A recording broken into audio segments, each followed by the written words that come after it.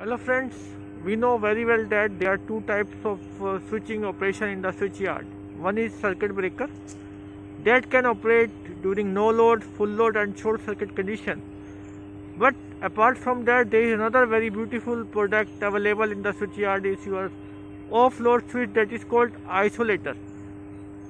In the that uh, picture if you look at here there the HCB type of isolator horizontal circuit break usually connected with both the buses and you can choose any bus at a time but that must be operated during no load condition that is called isolator or no load switch in the substation and I hope all youth engineers who have never been to any substation can understand the meaning of isolator in the substation. Thank you everyone. Thank you everyone.